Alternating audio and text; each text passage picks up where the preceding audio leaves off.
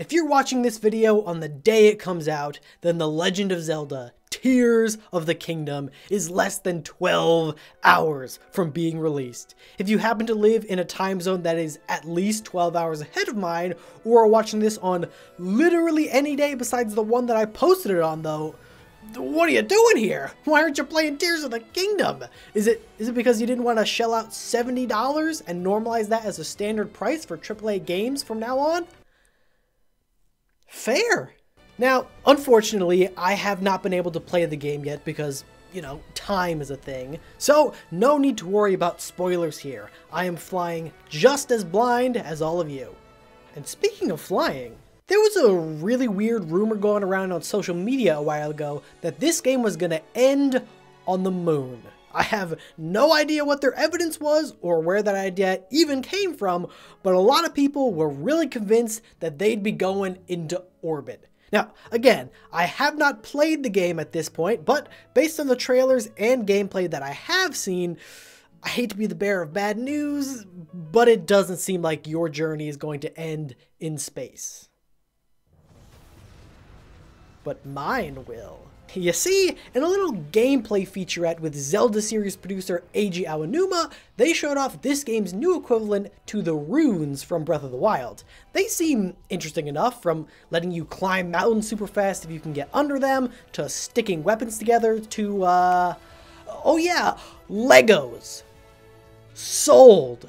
In the video, we see Aonuma take a couple of logs and some fans, stick them together, and create a fully functional boat in the span of like a minute, and then sail away on it. And when I saw this, oh, oh, oh, oh, oh, oh, it got the old gears in my head turning, and they haven't stopped. Sure, a boat is pretty cool, and in other trailers we see a car, a hot air balloon, and one of those things from Cats, but surely we can do even better. Make something even more grand. An even bigger middle finger to the gods and all those who said we can't. It seems like this building system is robust enough that the only real limit is your imagination. So for someone like me, there is no limit. Oh, Aonuma, you show me this and expect me to care for a single second about what's going on with Zelda and Hot Ganondorf? You expect me to not kick whatever expansive world you've made to the curb and build a rocket that will take me straight to the moon? Well, that's just not correct. Okay, so obviously as I'm recording this, the game isn't out yet, so I can't go in and show you how to build a rocket. But what I can do is lay down a challenge. I can't build a rocket for you, but I can give you all the tools you'll need to make one yourself and meet me among the stars. So buckle up everyone and prepare for liftoff because this is quite literally rocket science. Richard, hit that intro.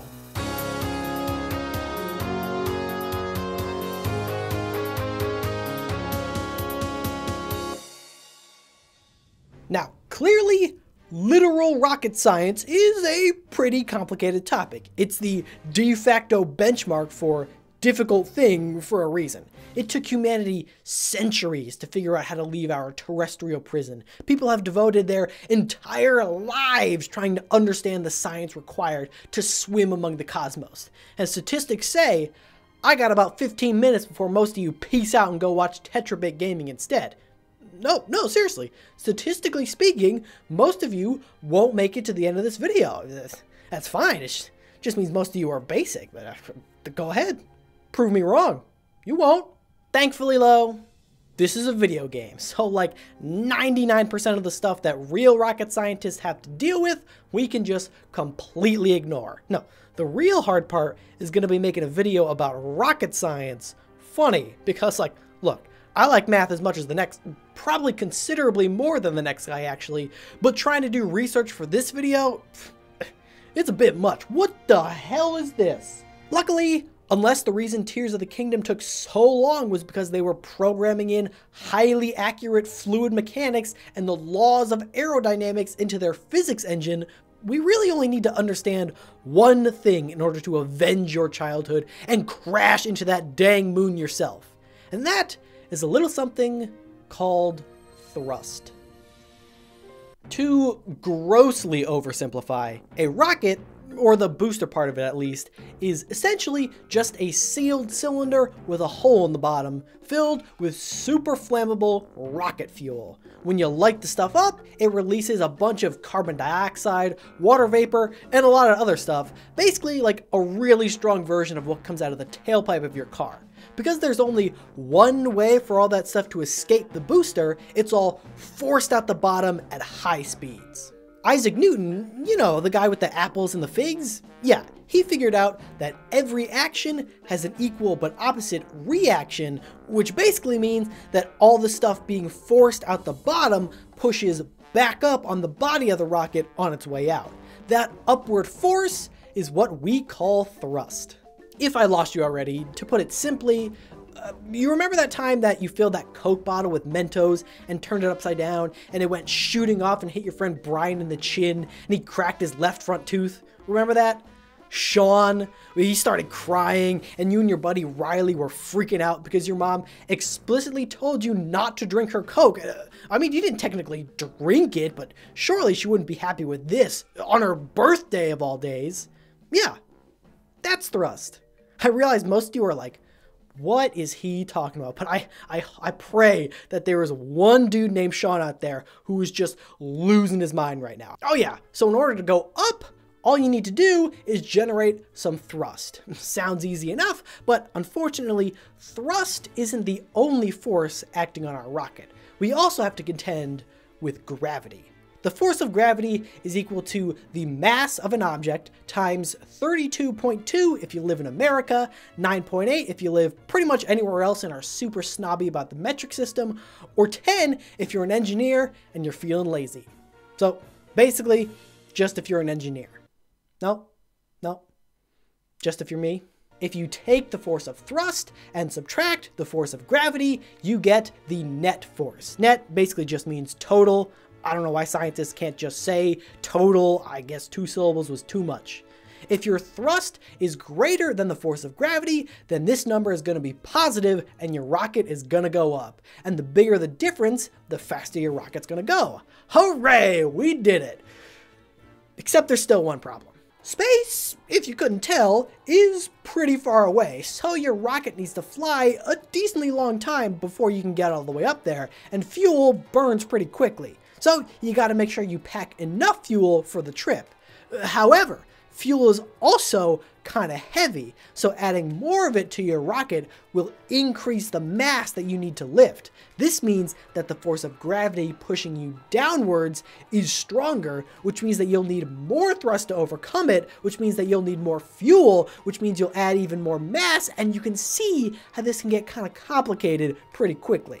Basically, your goal is to find the sweet spot of having just enough fuel to get you up into space without adding too much weight. But that requires a lot of math, and statistically, half of you are already gone and the rest are dropping like flies, so let's skip all that and figure out how any of this helps us with Zelda.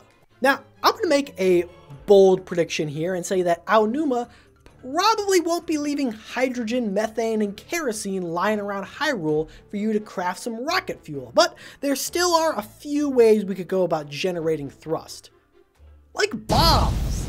It seems like Link may have lost his Sheikah slate in between the couch cushions of Hyrule Castle since the last game. Hey, we've all been there, man. I know you have, Sean. Remember? Remember when you lost your iPhone S in between the couch cushions at Riley's house and they found it six years later when moving and now it's worth a ton of money because it still has the original Flappy Bird on it? Classic Sean. I hope. Anyway, without the Sheikah Slate, we won't have access to our infinite supply of remote bombs like in Breath of the Wild. But if you manage to track down enough of those explosive red barrels that the Bokoblins have lying around for no apparent reason, then we might be in business. These aren't ideal since they go off in one single explosive burst as opposed to rocket fuel, which has a more consistent burn, but I think we can still make it work. Obviously, again, I haven't been able to get my hands on the building system in this game myself.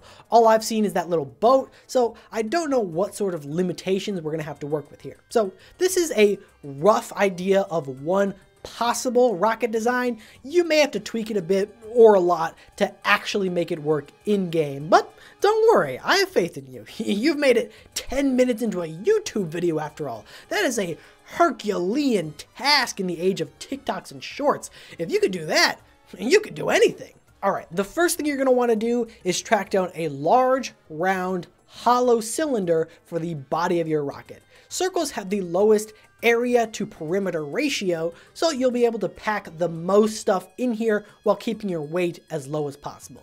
If those don't exist, you can always make do with a square or a triangle, it's not a huge deal. Also, make sure it's not made from a material that can burn or blow up, or else your rocket will burn and blow up. I mean, this is still technically literally rocket science, but I feel like you probably figured that one out yourself.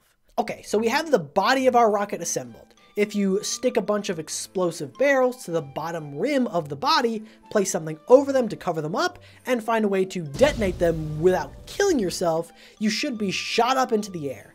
Make sure you do this on a perfectly flat piece of ground though, or else you'll probably go shooting off to the side and definitely die. Normal rockets can get around this by adding fins to the side, which can generate something called lift as the rocket flies to keep it straight, but again, this is a video game, so that probably won't work. Just try and eyeball it, I guess. Assuming you found a way to rig this up, and you and or the body of the rocket doesn't immediately explode, or I guess just and in this case, you should find that you've been propelled up into the sky. And if all goes well, soon enough you'll find yourself plummeting back down to Earth because one blast is almost certainly not enough to send you into orbit. So how do we overcome this problem? Well, just do it again build a second one of these modules on top of the first, and rig it in such a way that you can detonate them individually. This might be a bit tricky, I don't know if they have like fuses or something in the game, but it's the internet, I'm sure you'll figure it out. This second layer can probably be a bit smaller than the first because you're not carrying the weight of the first set of barrels anymore. The real trick here would be to figure out a way to fully detach the first module after the barrels in it have exploded so you don't have to carry that weight anymore. Kind of like how real rockets drop their boosters when they don't need them. Hopefully, you can just, I don't know, unstick the parts with your magic arm or whatever and let it fall away, but again, we'll have to wait and see. From here, you can basically just keep stacking these sections one on top of the other explode the bottom one, drop that section off the body, wait till you've flown as high as you can, then explode the second one, drop that section off the body, and continue until the cold vacuum of space takes you. Oh yeah, you'll probably also want to build like a cabin or something so you don't suffocate and freeze to death in space. That's that's probably that's probably pretty important. You definitely don't want to do that. The the freezing part, that is not good. I have no idea how many blasts you would need to get all the way up, and there also might be better, more optimized configurations than this simple stack design. I'll need to get my hands on the game and experiment some more to be sure. Like I said in the beginning, this video is meant to be more of a jumping off point, a launch pad, if you will. Look at me, who said science couldn't be fun? It's got puns! Sometimes, I mean, not it usually does not have puns, but sometimes. Hopefully this video has sparked some creativity in you and given you the inspiration to take on this challenge with me. If you do decide to join me in this super dumb quest, then please save some videos of your attempts, successful or not, and send them to me on Twitter. I'll have a link in the description below, but it's just at the Chiptide, just like my YouTube channel name. I honestly barely use Twitter ever at this point, but if my timeline were filled with a bunch of people trying to make rockets and other cool stuff in Zelda, that would bring me back for sure. There may also be better ways of achieving thrust than these barrels. We know you can use balloons or fans, for example, but I mean, come on, which one sounds more fun? Quite literally blasting off like Team Rocket or flipping a fan over and slowly riding it up? I know which one I'm choosing, and I think considering the fact that you are one of the brave few to make it to the very end of the video. You do too. And also, if you're still watching and having a good time, then maybe hit that subscribe button. I'd like to say that it'll notify you when I post a new video, but I honestly don't know if that's true. It may very well do literally nothing for you, but it's free and it helps out small channels like this a ton in the algorithm, which means I can keep making videos like this every week. But with that, we're probably about 18 minutes closer to the release of Tears of the Kingdom than when you started, so I'll let you get back to dodging those spoilers, and I'll see you in the stars. Oh, and uh, Sean? Happy birthday, man.